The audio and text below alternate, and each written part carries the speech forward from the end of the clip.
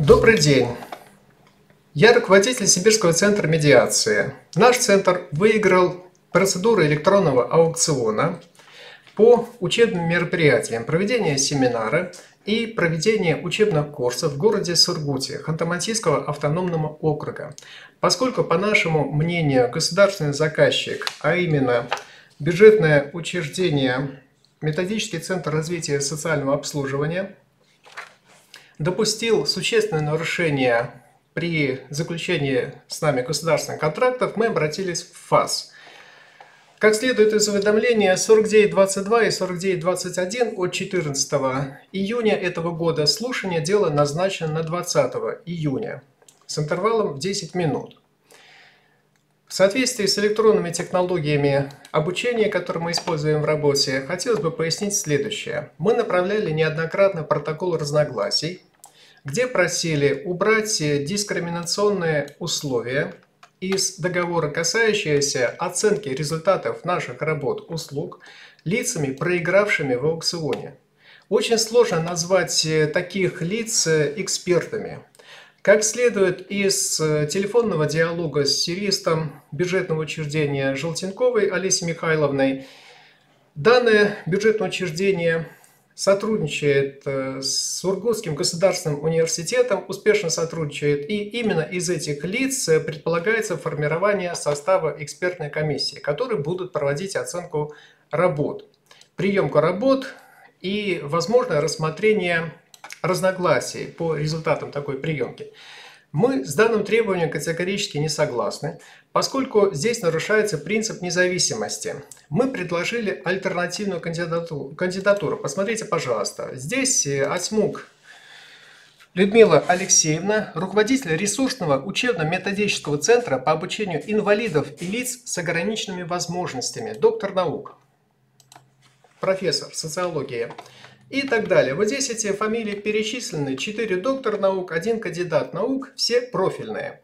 В отношении других лиц, которые будут принимать наши услуги, работы нам ничего не известно. Хотя по условиям контракта мы должны оплатить их труд.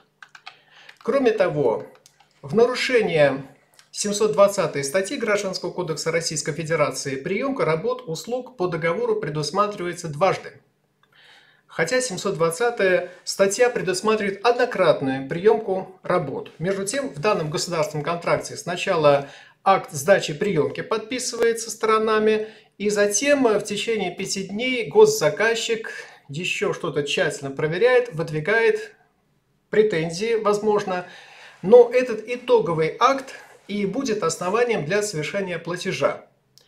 Поскольку у нас не определены четкие критерии в договоре, мы предложили такие критерии определить, с тем, чтобы можно было предъявить обоснованные претензии. Мы сформулировали эти критерии от обратного.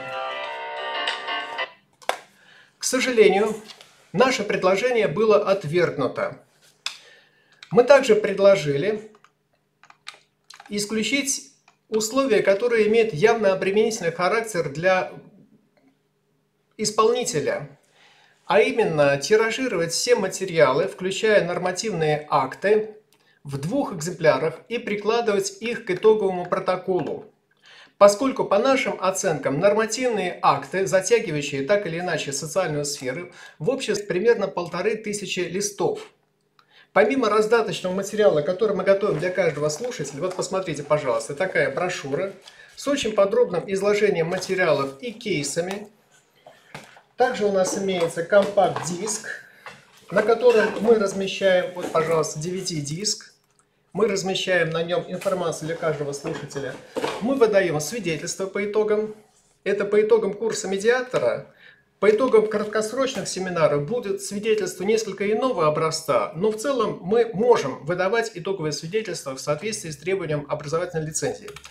По совокупности всего сказанного мы усматриваем неконкурентные препятствия в доступе нашего центра на рынок образовательных услуг города Сургута.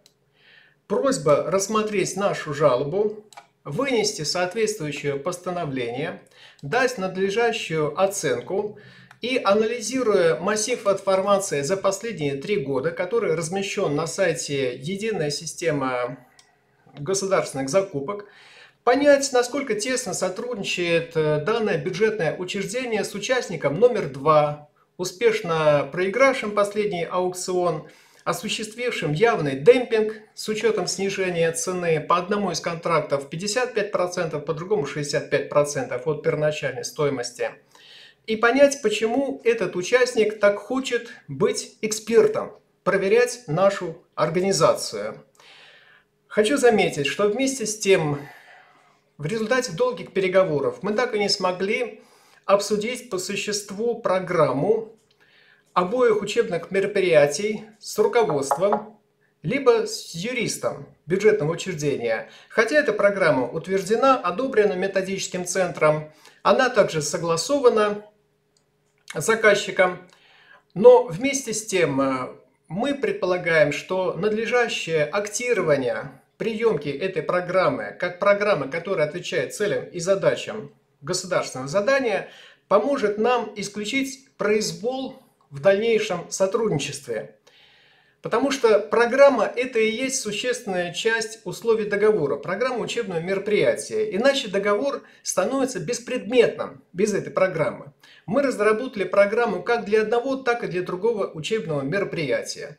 Обращаю ваше внимание, что вопрос касается социальной сферы. Именно благополучатели услуг – это социально ориентированные некоммерческие организации, это руководители ведомств, призванных защищать интересы лиц, нуждающихся в государственной социальной помощи, сейчас является... Они попали в уязвимое положение. Мы не можем донести до них тех знаний, которые мы подготовили.